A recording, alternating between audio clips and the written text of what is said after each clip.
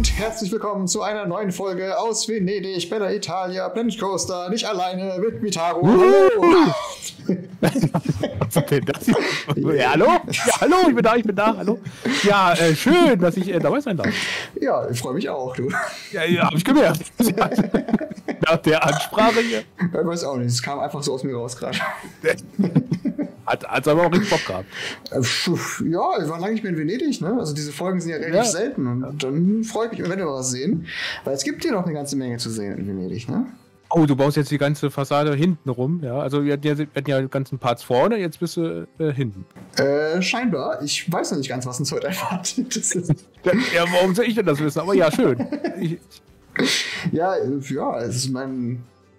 Äh, Venedig ist halt so vom Stand her, wenn ich mir das angucke, wie, wie das Video aussieht, ist ja noch nicht so wahnsinnig viel passiert. Ne? Also klar, es ist schon. das stimmt. Das ist schon ist locker ein halbes Jahr her.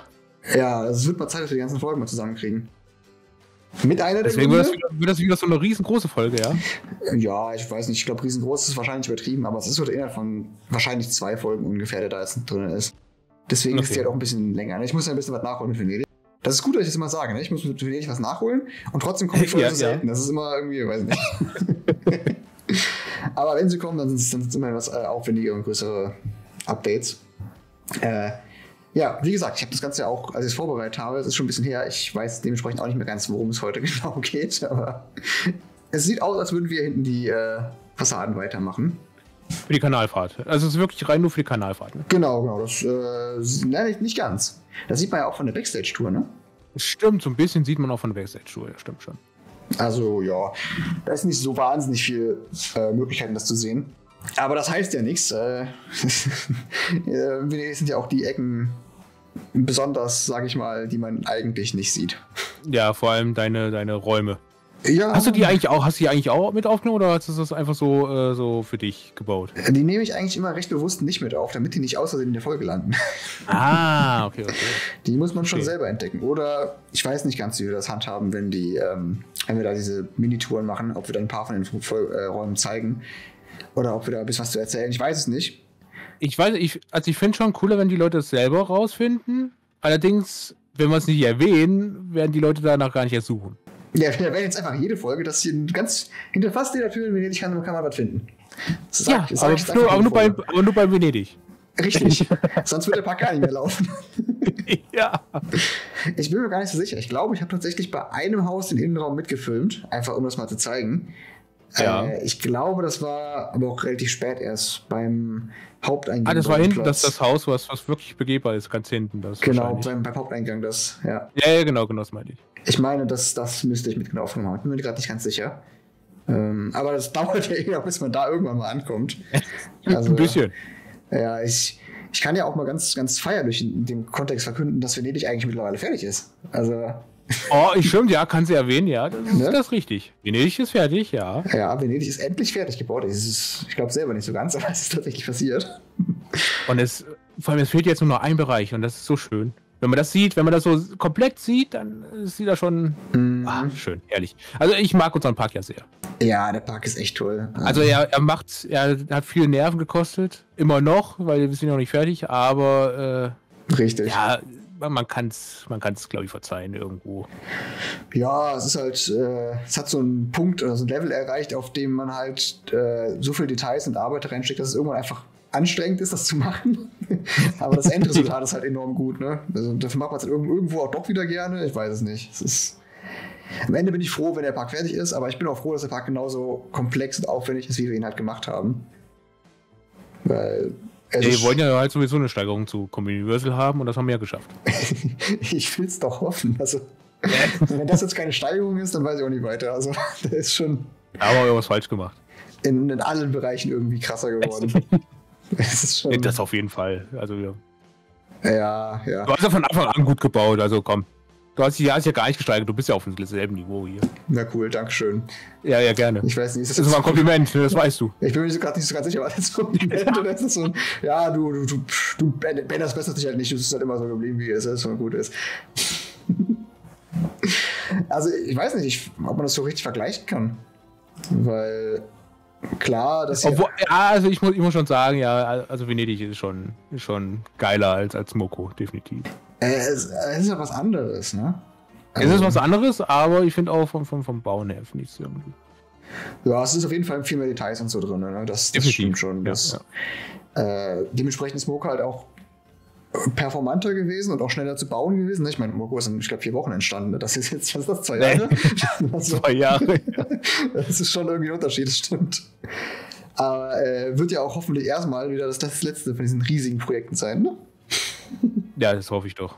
Ähm, wir haben sogar schon eine Idee gekriegt. Äh, Frankreich, ne? Haben wir gekriegt. Ah, stimmt, ja. glaub ich. ja. Ja, stimmt, habe ich auch gelesen.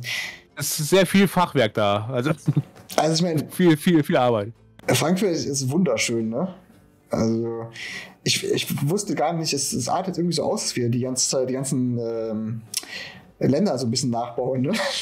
Ja, es, ist, es artet ein bisschen aus, das stimmt schon, ja. Ich weiß gar nicht. Es, Ähm, es war ja nie der ich meine- Gedanke. Ich meine, wir können, ja so einen, machen, ne? wir können ja so einen Bereich bauen. Also das wäre nicht in dieser Größe, aber einfach nur so ein Bereich. Das wäre natürlich möglich. Das stimmt, ja, wir hatten ja eh den Gedanken, eher die Bereiche zu machen, statt äh, ganze Parks, ne? das ist ja viel zu groß. So. Und in dem, klar, da könnte man sich natürlich überlegen, Frankreich zu machen. Aber weil, ich finde so architektonisch ist Frankreich wirklich hübsch.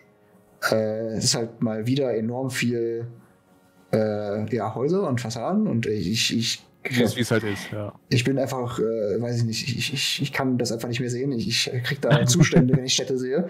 Also, das ist einfach zu viel gewesen hier. Aber ich, ich muss ja sagen, wenn es ja kleine Projekte sind, dann äh, kann man ja öfters mal einen Park mehr bauen. Ne? Also es ist Genau. ja jetzt nicht so. Dann, Ja, also ich finde auch, wenn man einen Bereich macht und für eine Bahn und die dann schön macht und zu dritt diesen einen Bereich macht, dann kann ich mir auch vorstellen, dass das eher Sinn macht. Dann kann man, kriegt man vielleicht auch schneller mehr geschafft und so, ne? eben, dann kann man dann immer noch was machen. Genau. Und Frankreich finde ich an sich cool. Ist halt die Frage, ob wir Frankreich machen wollen. Vielleicht sammeln wir einfach so ein bisschen Ideen und machen dann, bevor wir das Ganze starten, einfach mal so eine, so eine, Eine Umfrage vielleicht nochmal. genau, so eine Umfrage, was ihr am Genau. sehen wollt. Ähm, genau, weil es gibt ja echt viele Sachen, die man bauen kann. Äh, ja. Ich bin immer dafür zu haben, irgendwas zu, irgendein Thema zu, äh, zu bauen, das ich selber noch nie gebaut habe. Ich habe, glaube ich, noch nie irgendwas doppelt gebaut in dem Spiel. Mm, aber mal gucken, gibt ja genug Möglichkeiten. Ne? Ich habe so vieles nicht gebaut. Ja, ich auch. also, die Möglichkeiten sind ja äh, hoch. Mhm. Ja, wenn du überlegst, ne? also ich, du, du hast doch einiges gebaut. Ich glaube, du bist von uns der, der am meisten verschiedenes Zeug gebaut hat.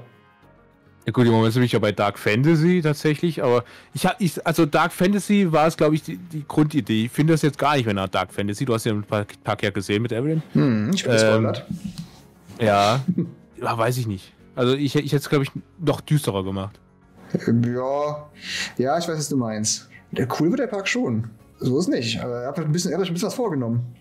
ja, freu mich ich schon wahrscheinlich. Ich, ich habe mir was vorgenommen, das ist das Problem. Wir hatten den Pack ja eigentlich fast so gut wie fertig, aber äh, Hm, ich habe hier dann den kompletten hintersten Teil ja rausgelöscht. ja, Da, da war ja bei Evelyn ja sauer und dann äh, ging es ja los. na gut. Aber es geht ja gar nicht um den Park jetzt hier. der Park wird auch wundervoll. Ich freue mich da sehr drauf, wenn der fertig ist. Der sieht sehr, sehr Ja, vielversprechend den, den aus. zeigt ihr ja, ich freue mich ja so. Ja, natürlich. den Müssen wir Guck, auch mal, gucken, was ihr, mal, gucken, mal gucken, was ihr sagt. Ja, nur das Beste. ja, wir sind übrigens hier an einem Punkt angekommen, wo, ähm, wo eigentlich die zweite Folge, wenn du so willst, starten würde. Das ist Ja, Prinzip, das, ne? das habe ich schon ge gemerkt, wo du das schon angefangen hast zu bauen hier. Ähm, Ja, ja, genau. Das ist eigentlich, es wäre das eine eigene Folge gewesen, das ist eben auch eine eigene Folge. Aber es ist halt hier alles ein bisschen zusammengequetscht, damit halt mehr reinpasst hier in die eine. äh, ja, dieses ganze Gebäude könnte eigentlich eine eigene Folge sein, weil es halt echt recht komplex gebaut ist. Und diese Uhr, die ich hier baue, ich weiß gesagt gar nicht, wie das Gebäude heißt. Diese Uhr ist schon, die ist echt cool. Gerade in dem Maßstab gefällt die mir echt gut. Ach so, das ist auch was, das, äh, gut, dass du in der Folge dabei bist. Das ist was, was idealerweise auf dem Workshop sein sollte jetzt. ah ja, ja, ich werde ich dann, äh, dann direkt hochladen, wenn das Video raus ist. Dann. Das wäre ein äh, Workshop-Objekt. Weil ich habe mal geschaut, ähm, was es da noch so gibt im Workshop, um halt so ein bisschen zu gucken, wie andere Leute das gebaut haben. Ähm, und es gibt, glaube ich, nur ein anderes vergleichbares Haus, das, also das, das hier repräsentieren soll, äh, das im Workshop ist. Und das ist halt in einem komplett anderen Maßstab gebaut. Ja. Ähm, genau, dementsprechend ist das hier wahrscheinlich dann, ja, also wie ich mir mal selber die Anschauung immer setze, so das, das Beste, das ist, äh, aufs, äh, was man auf Steam so runterladen kann dazu. Und sich jetzt selbst mal zu, zu viel zu loben, aber das ist schon cool geworden hier. Ich bin sehr zufrieden damit. Ja, das auf jeden Fall, kann es auch sein. Das ist eins von diesen kleinen bisschen. Äh, ja, es Ja, das war ja, das war ja sowieso unser Anspruch, dass, dass wenn wir Workshop-Elemente reinmachen, dass es bis dato dann halt das, das Beste ist. genau, das ist immer so ein Wir bisschen. wollen uns ja immer so ein bisschen selbst übertreffen. Das ist ja so. Ja, wenn man es schon so macht, dann kann man Ding. es richtig machen, ne? Ja, eben, eben. Ja. Ja, leider, die, die Oper kann ich leider nicht hochladen. Schade. Ja, das ist immer so das Problem mit den Teilen, ne? Ich wollte eigentlich auch ein Gebäude, das ich noch äh, hochladen wollte. Diese Brücke, Ja. die große Brücke, die ganz am Schluss kommt, das dauert noch ein bisschen, bis wir da ankommen. Äh, Mhm. Die sollte eigentlich ursprünglich, war die auch angedacht als Workshop-Objekt. Aber als ich fertig mit der Brücke war, hatte ich halt, ich glaube, 4400 Teile oder sowas. Oh, das ist äh, natürlich, ja, kannst du nichts wegmachen. Da fehlt ja dann die Hälfte. Ja, das ist echt ungünstig gewesen. Das war echt schade um. Deswegen bin Ja, ich froh, ja. alles, das, was wir halt irgendwie hochladen können. Und, Hast du äh, eigentlich mal wieder probiert, was hochzuladen? äh, tatsächlich ja, ja. Also ich habe nochmal geschaut und es ist tatsächlich nicht wirklich was getan daran. Schade. Ja, Oh, es ist so ärgerlich. es, ja schon, ne? Also es hätte mich ehrlich auch gewundert, wenn es wenn es jetzt zweimal funktioniert hätte, aber äh, probieren kann man ja, ne? Also, Ja, klar. Leider hat sich Weil, letzt, nichts letzt, getan. weil letztes Mal hat es, letztes Mal hat sich auch einfach von selbst aufgelöst, das Problem. Das stimmt, das stimmt. Das ist aber echt schon ein bisschen her, ne?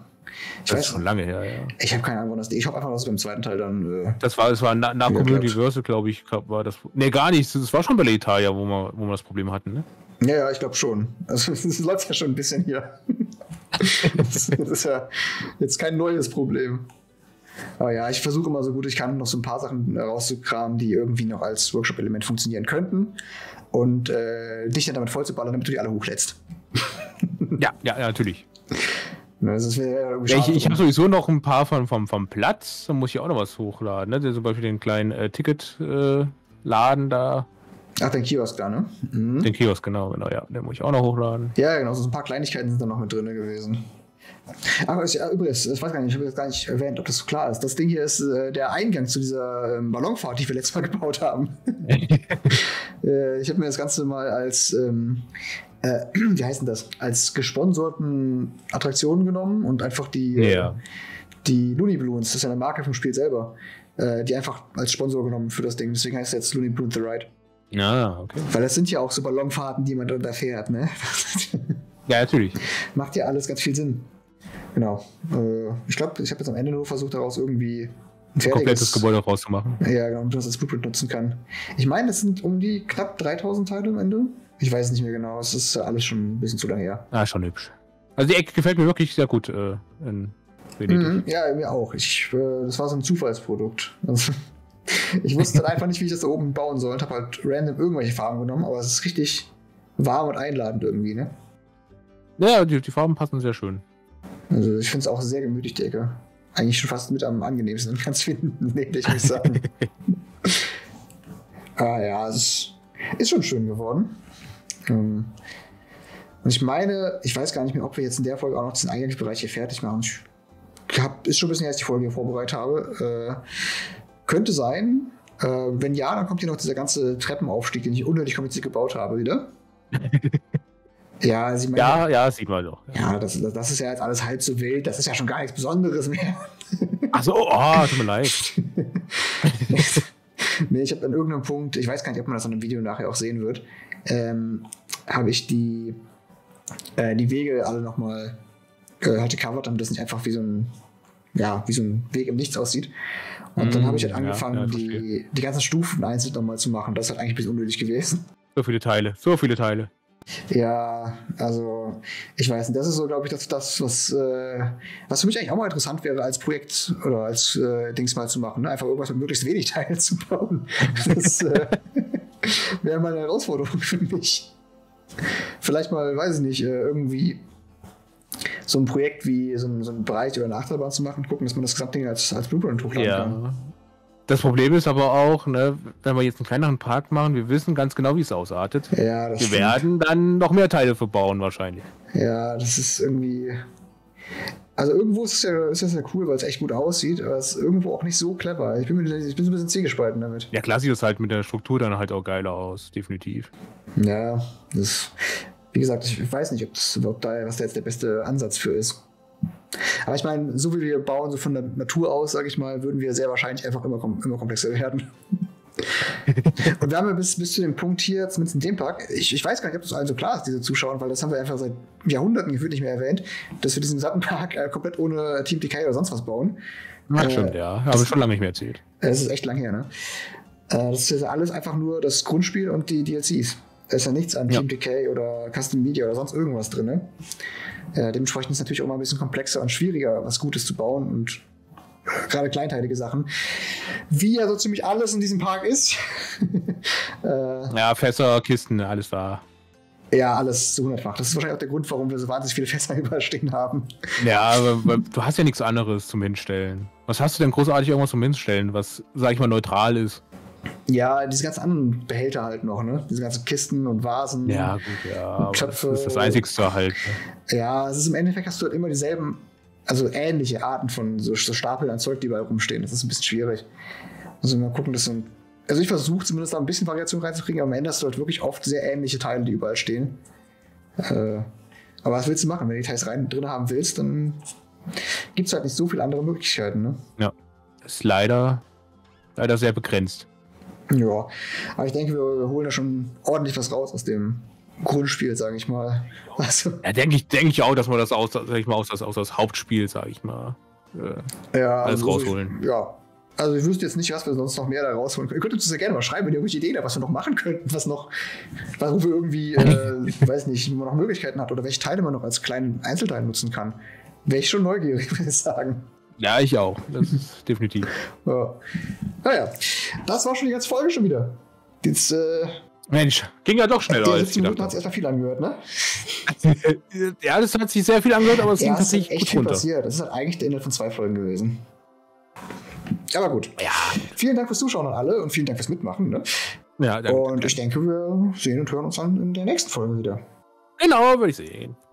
Bis dahin. Tschüss. Bis dahin. Tschüssi.